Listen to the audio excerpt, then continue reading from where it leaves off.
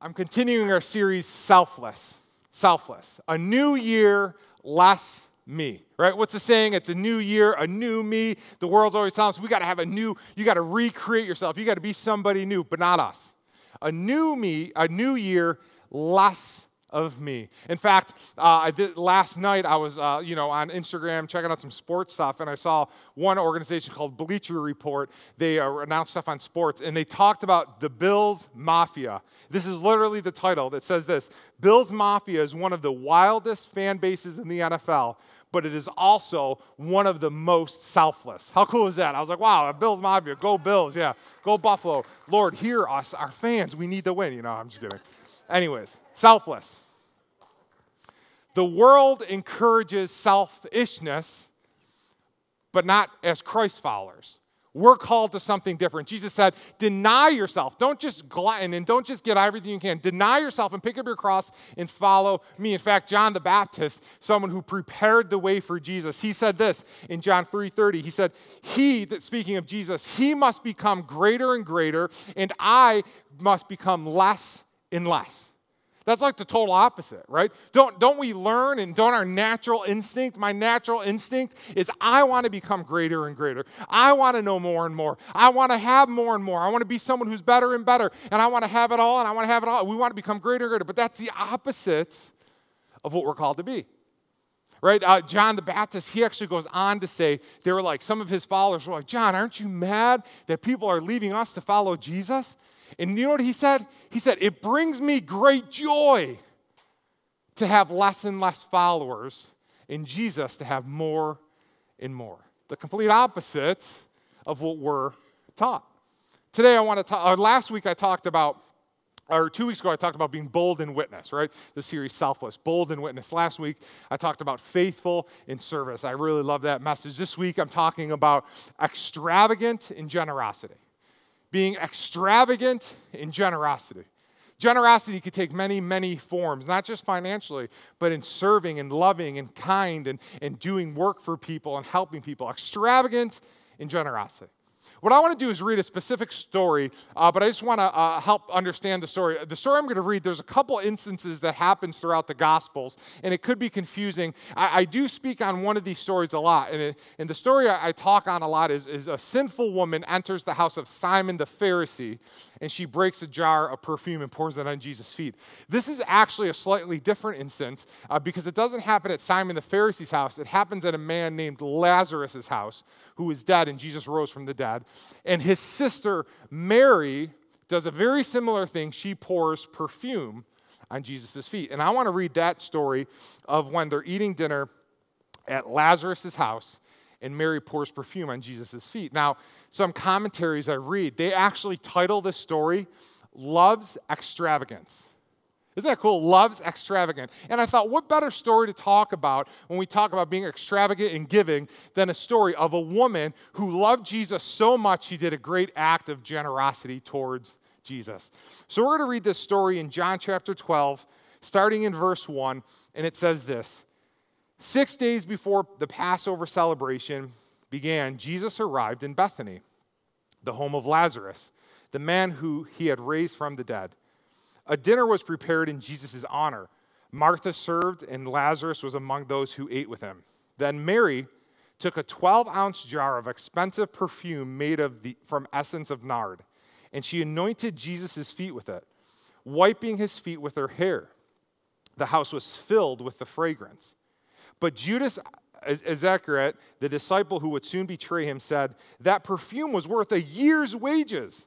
It should have been sold and the money given to the poor. Not that he cared for the poor, he was a thief, and since he was in charge of the disciples' money, he often stole some for himself. Jesus replied, Leave her alone. She did this in preparation for my burial. You will always have the poor among you, but you will not always have me. From this story, I want to talk about some principles of generosity. Principles of generosity. I don't really like the word principles. I feel like it reminds me of school and a lecture and going to the principal's office. However, it actually is a really good word because principles are uh, foundational truths of something, right? A principle is the foundational truth. And so if we want to learn to be more generous people, we should learn the truths that generosity, the foundation of generosity, is built upon. And so I want to talk about some principles of generosity. This is the first one selfishness is an enemy of generosity. Some people would say selfishness is the enemy of generosity. Now, what's one thing you never have to teach your kids?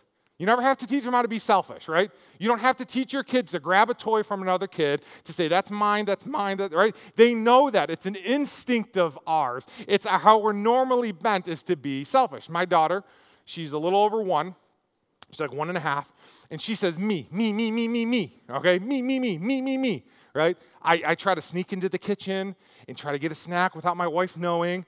And all of a sudden, me, me, and she's right there. I'm like, how do you know I'm eating a snack? Like, shh. You know, the other kid's coming in, me, what are you eating, Dad? He's like, guys, be quiet. You know, I pull up my phone to go on my phone, and she, me, me, me, me, me, dada, dada, me, me. She wants my phone.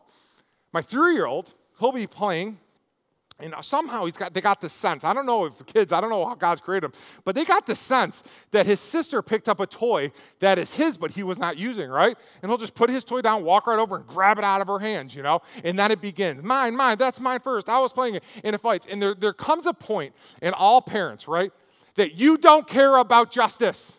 You just want some silence, you know? It's like, I don't care whose it is, I'll throw it out the window. You just stop crying, right? But there's this selfish, natural bent that we have. Now, let me ask you a question. Why wasn't this amazing, extraordinary act that Mary performed on Jesus, why wasn't it celebrated? It wasn't celebrated because there's an enemy of generosity, and it's selfishness. Judas said in verse 4 and 5, he said, But Judas, the disciple who would soon betray him, said, That perfume was worth a year's wages. It should have been sold and the money given to the poor. Now, a year's wage, some versions say 300 denarii. Back then, a denarii was like the minimum wage. The denarii was one day's salary. So 300 denarii, uh, you know, you take out weekends, holidays, days off, 300 work days a year roughly. That's a year's wage. Now, what's interesting is there's another story about Jesus, and there's 5,000 people, and they're all hungry, and Jesus said, Let's feed the people. And Philip, he says, 200 denarii would barely fill, fill, feed all these people. So it's interesting to think that you could sell this perfume, get 300 denarii, and with that money feed well over 5,000 people. So Judas's remarks are kind of like interesting. It's kind of like, wow, what a sweetheart. You know, he's a good guy, that Judas. I mean, always thinking of the poor, and we should have sold it and given to the poor and help him, right? But selfishness can be disguised in a plethora of ways. Because the ver- next verse, verse 6 says, Not that he cared for the poor, he was a thief. And since he was in charge of the disciples' money, he often stole some for himself. Selfishness can appear in many, many ways. Some people, selfishness appears in how they talk about people who are generous. Sometimes we're critical of generous people we say things like, well, I mean, they just gave that because they're rich. Well, I would give that much money if I had that much money too, right? You know, if I had money just lying around, I would do it too. Oh, the pastor, he only speaks on generosity because he wants more people to give, right? And we get critical. It's funny because the same message I'll speak on giving, I get the people who are generous telling me how good it was, and the people who are not trying to argue that I wasn't quite right theologically. Right? It's interesting though. Selfishness can take a lot of forms of generosity. But you ever think about this? Who put Judas in charge of the money? Well, who, who was the leader of the disciples? Who picked every single one disciple by hand, by name? Jesus. And Jesus knew Judas was a thief, yet Jesus put him in charge of the money. And I wonder if Jesus put him in charge of money because he wanted to give him an opportunity to overcome the enemy of, of generosity. He wanted him to overcome his selfishness. Now, you might say, well, that's not very nice of Jesus. If he knew he was struggled in this area, why would Jesus tempt him like that, right? Well, 1 Corinthians 10 13 says this the temptations in your life are no different from what others experience.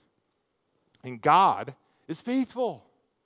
He will not allow the temptation to be more than you can stand. When you are tempted, He will show you a way out so that you can endure. We are all tempted to be selfish. Isn't that true? We're all tempted to be selfish. Even for me, I was thinking about this message and I was so selfish. I said, well, you know, I, I, I don't know if I want to preach this message because, like, I, I'm a really good speaker, and I wish everyone could hear how good of a speaker I really am. And I'm thinking, like, I, you know, should I preach this? And God's like, what are you talking about? You're talking about being selfish, and all I care is what people think about me. I'm not speaking for me, I'm speaking to glorify God. We could all be selfish, we all struggle with temptation.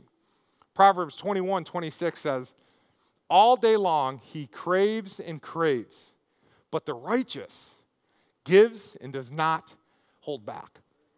That phrase, craves and craves, it actually is talking about they crave the craving of wanting more. They crave the urge. They crave the feeling. They enjoy the feeling of wanting more. It's an addiction of more. How many of us know that getting more of something never is the true fulfillment in life? more money, more things, more fame, more followers, more popularity, more knowledge. It, it never, there's always a little more you could get. Selfishness is never satisfied, but selflessness is an amazing way to live our lives. Principles of generosity.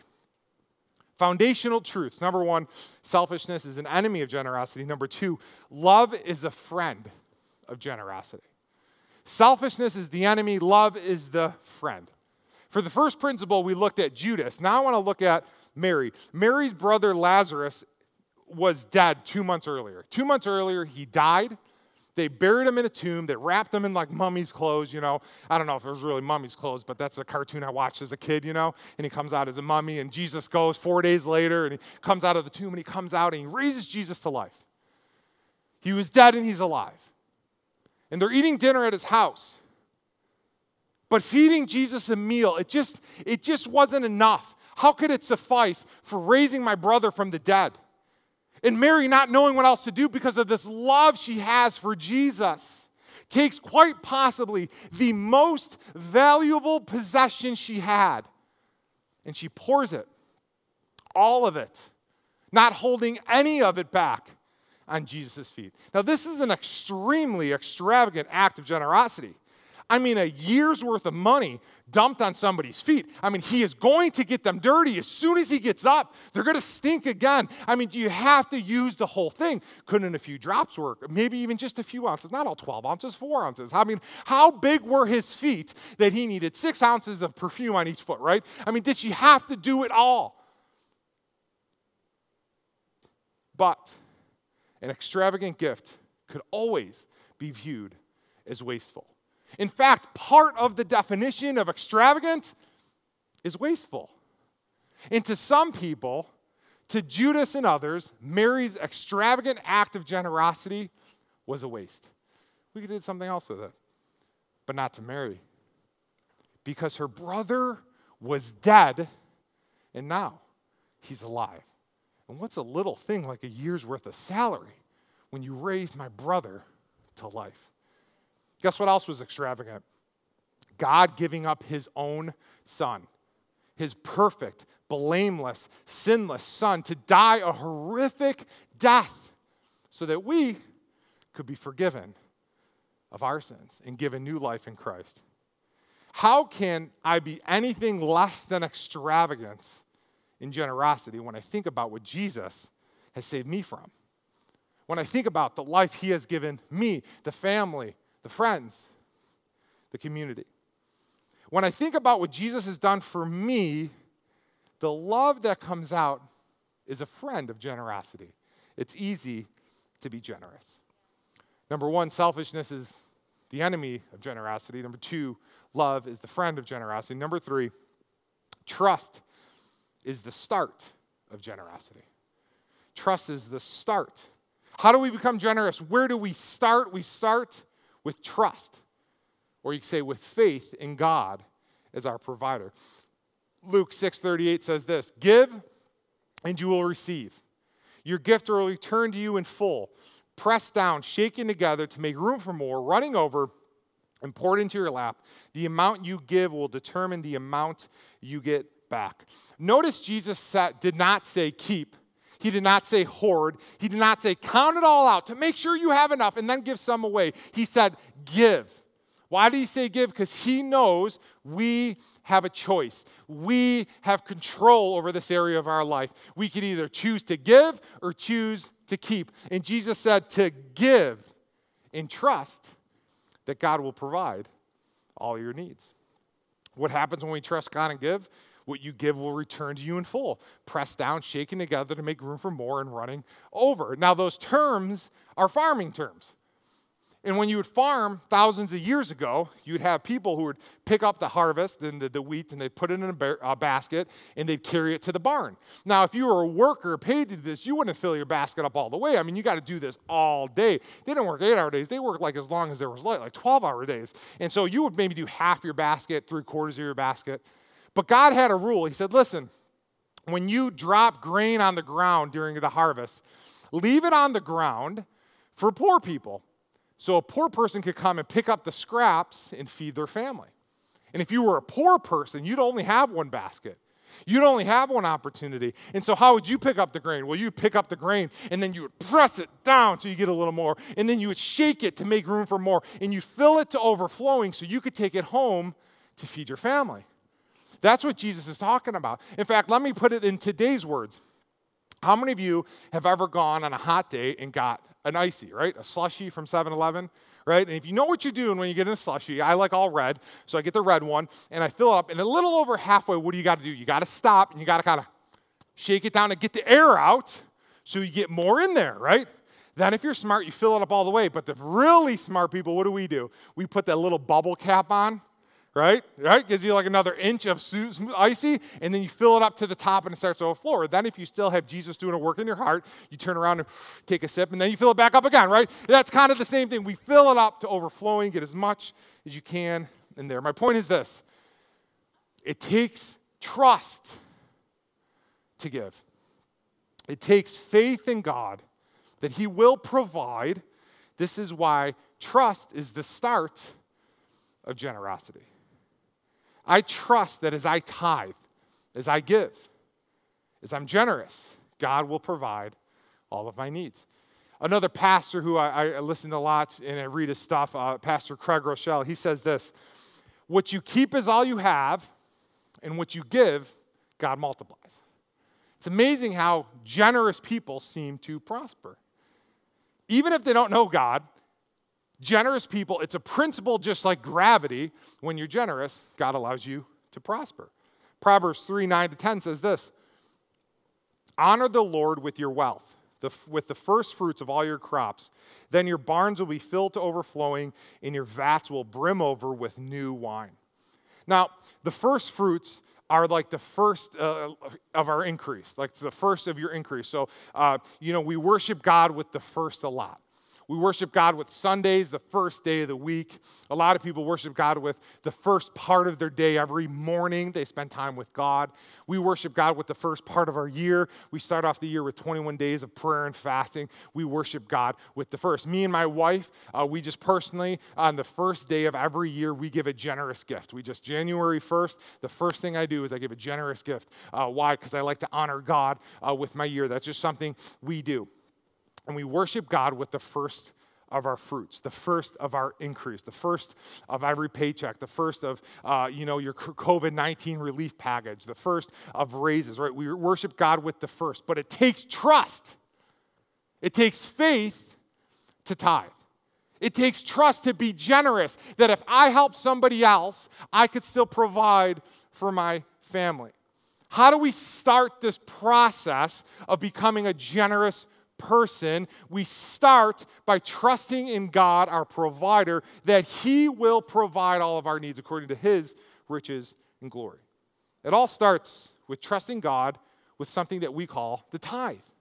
The tithe comes from the Hebrew word that means one tenth or 10%. The tithe is the first 10%. We give it back to God. You give it to the church you belong to, where you're fed spiritually. We give it first before we know we have enough. We give it first before we count, pay all our bills, and we have just have 10% lying around. I mean, whoever has 10% just lying around, anyways. But you give it first, right? We give it first. Why?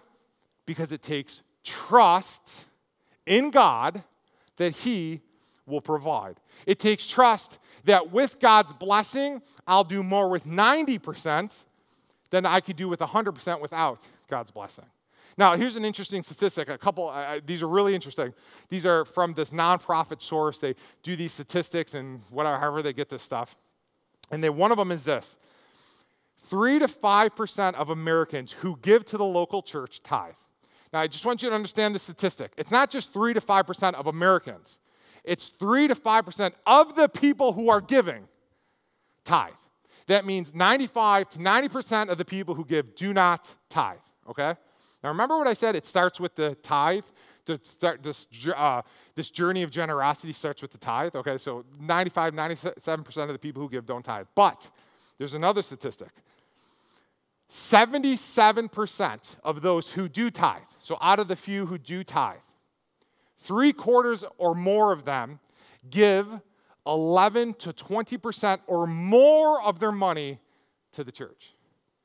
The people who have learned to trust God with the tithe are sometimes doubling what they give because they've developed this trust in God. It's amazing. Why is that? Because it all starts with trust, with faith in God that He will provide. Mary gave Jesus an extravagant gift by pouring a year's salary of perfume. How absurd is that on Jesus' feet? Now, Mark tells the same story that I read in the Gospel of John. The Gospel of Mark tells the same story, but it records something else Jesus says. And in Mark 14, 19, it says this about the same story we read about her pouring the perfume. Jesus said this. He goes, Truly I tell you, wherever the gospel is preached throughout the world, what she has done will also be told in memory of her. Her extravagant act of love is now being told all over the place. I mean, do you realize that Jesus prophesied about my message today? I'm talking about this lady to reach more people because of her extravagant act of generosity. Her generosity still living thousands of years later, affecting thousands and thousands of people's lives. Mary was generous and she didn't know the full effects of her generosity. She gave before she knew. Jesus said, You're preparing me for my burial. She didn't know Jesus wasn't going to be anointed before he died. She anointed Jesus, the Son of God, before he was crucified on the cross. She didn't know where her gift was going. And many of you give to church, and we don't know where every penny's going. We don't know where every little thing's going. We don't know that it's going to the teenager who, when we met him, he was depressed. He was struggling in life. And now all of a sudden he's serving in church and he's excited to come every week and he's happy and he's using words I've never heard him use before. And some Sundays he's getting to church before me because he's so excited to be here. We don't know that every penny is going to help people like that. We don't know about how about those people who just became members and their amazing stories of how they found church and how they found God. Like one of them, Alex, he was just coming to church because his fiance, a girlfriend, was bringing him to church. And all of a sudden, through the process, he met Jesus. He's serving. He's a member. He's growing. He has a new community. We don't know. It's amazing. We don't know about the families and the people who are struggling. And they watch every single week. And it's because of the encouragement that we give that they're able to endure isolation in this pandemic. But there's a trust. And there's an effect that when we're generous, we affect lives. When Mary poured the perfume on Jesus' feet, it said the perfume filled the house. It changed the atmosphere. Every person around smelt something different. Every person around, it changed what they were smelling. And when we're generous, when we do acts of generosity, it doesn't just affect us, it affects everyone around us. It touches people, it encourages people, it helps people. When we're generous, we're helping our church reach thousands and thousands of people in Western New York. We will do it and we will continue to be generous and we will continue to be a light in the darkness. And our generosity is going to change the atmosphere, it's going to help help people and it's going to encourage people in Western New York. Let me end with this. John 3:16. One of the most popular scripture verses. Remember the wrestler used to have like Austin 3:16 there. It's John 3:16. For God so loved the world that he gave his one and only son that whoever believes in him shall not perish but have eternal life. Why did God give? Because he loved. Love is the friend of generosity. How did God give? Well, God gave his first, God gave his only, God gave his best, God gave his sinless, blameless, blameless, perfect son, and he gave him for us. Not only did God give his first and his best, but God gave him before we loved God. God gave him before we responded. Just like when we give, God asks us to give our first, but we give it before all of our needs are met. We give it before we know how everything's going to shake out. We give it first because there's a trust and there's a love of our acts of generosity. What am I saying? I'm saying when we learn these principles, that I'm giving in generous, that I'm becoming a generous person I'm saying I trust God and He will provide all of my needs. I could give Him my first and my best, knowing that God will provide. And that's how we become extravagant in generosity. Now, maybe today you're listening to this message and, and you think, this is absolutely nutty. This is crazy. You say, Jonathan, you've lost your mind. You are mad. Well, I got news for you. You're right. This is crazy. This is the complete opposite that everything we're taught in life. I took corporate finance. I majored in finance in college. I was in those classes, and I know it doesn't add up. Giving everything away does not make you rich in this world's economy. But when you follow Jesus, we aren't called to be selfish. We're called to deny ourselves and pick up our cross and follow Him. And we don't have to follow the economy of this world. We got a new economy, a new kingdom we're a part of, and God is able to provide all of our needs according to his riches and glory. You might say, okay, okay, okay, even if that nonsense, that crazy talk is right, even if you're right, Jonathan, do you know what it would take for me to start being generous? I mean, I'm in a bind right now. I got debt right now. I'm worried about my job. I got this going on and this going on and this going. I you know the changes I would have to make to give? I mean, geez, I would have to do this and I would have to put, I would have to make God the priority over my kids and God the priority over what I eat and God the priority over my car. God, yes, that's what I'm saying. That's the beauty of tithing. That's the beauty of generosity because it forces us to put God first in every single area in our lives. There's nothing else we can do that forces us to put God first in every area except for when we give generously to God. Because when I give, it forces me to make God the priority in every area of my life. As I end, maybe today, two things. First, you're listening to this and you say, Well, I don't really know Jesus, but it's amazing that he died for me. I'd like to know him. I want to pray for you. But the other people I want to pray for is some of us, we've struggled with this. We're Christians, we go to church, we believe in Jesus, and man, there's just a struggle. I honestly believe most of us, we want to be generous. We would love to say we give and we give and we help neighbors and we help friends and we help people in need and we just help the homeless and we want to be generous. But there's an enemy. There's this natural bent of selfishness that is always fighting against it. And maybe you want some prayer that you could start this journey of trusting God, even in your money, even in your time, even in your gifting, to be generous, and God will provide. I want to pray for you. Lord, I just thank you for anyone watching online or anybody who's here in person. And Lord, I just ask for anyone who doesn't know you, Lord, that right now, if they want to know you for the first time, they could just say a simple prayer like this Jesus, I know I'm not perfect. I know I make mistakes.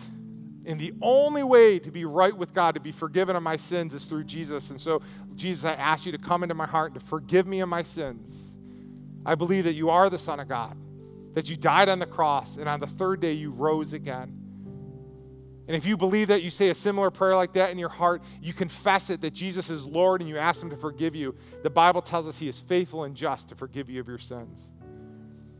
And there's other people here who are struggling with generosity. And there's an urge to be generous, but it's hard. There's an enemy fighting against us called selfishness. And I feel like my selfishness always wins. Lord, I just ask that you'd begin to touch our hearts. Lord, that you would bring a trust in us, a boldness to begin to trust you like never before. And Lord, you would help us to be generous because of the love you've poured out to us that we would love you back with our acts of generosity. Lord, we thank you that you're with each of us. We thank you for your faithfulness and that you make a way in our lives. In Jesus' name.